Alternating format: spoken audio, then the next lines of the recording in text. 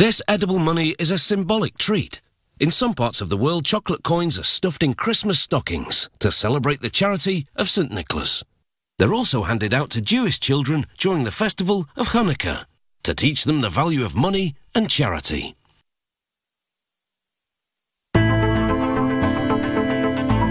Chocolate coins don't have any purchasing power, but they do buy a lot of appreciative smiles from the kids.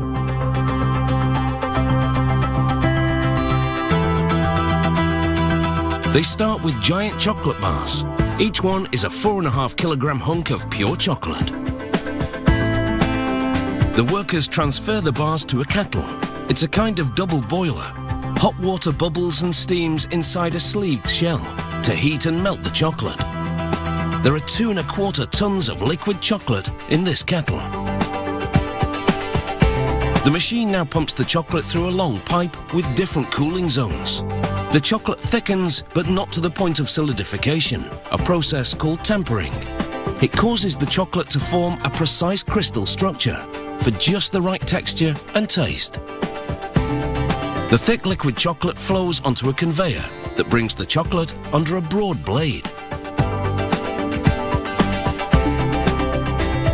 The blade levels it to a specific thickness and spreads it evenly, creating a long sheet of chocolate. The chocolate now begins to coagulate and harden. To spur that process, it travels through a refrigeration tunnel, which is approximately 14 meters long. This journey transforms the liquid chocolate into a soft solid. Next, they clean and prepare the die. It's a spring-loaded device that works like a biscuit cutter to punch out round blanks. But there's one big difference. Each cutter is long and tubular, so as it punches out the chocolate blanks, they accumulate inside.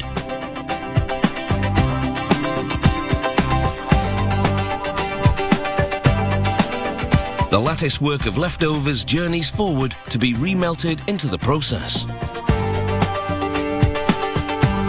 So not a crumb of chocolate goes to waste.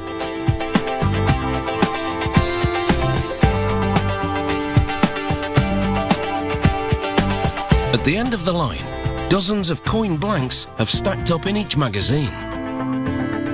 And piles of leftover chocolate have accumulated in a bin that will now be transferred back to the melting pot.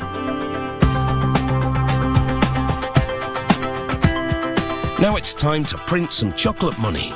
To do this, they wrap the chocolate first, and then emboss both the wrap and the chocolate blank simultaneously. Here's how it works. Sheets of glossy gold foil travel between rollers to establish an even tension. Ahead, a forked arm moves two chocolate blanks between the foil sheets. Piston-like knives move into wrap, cut and fold the foil around the blanks. The forked arm then delivers the foil wrap blanks to a die press. It stamps designs on both sides of the coins, making an impression on the foil through to the chocolate. The chocolate, although solid, is still warm enough to receive the image. Removed from the machine, here's what the die heads look like. These ones are used to emboss chocolate coins with American penny markings. As for the foil discards, they don't end up on the scrap heap. Instead, they accumulate in a bin to be sent out for recycling. They make 150,000 foil wrapped coins a day. To change the currency type, they simply switch die heads. Chocolate coins can be made in many sizes, with a range of different illustrations. The coins now spill out onto a conveyor, which takes them to a bin.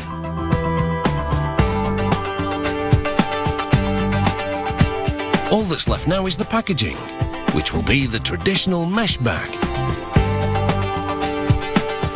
From start to finish, it takes less than an hour to make a chocolate coin.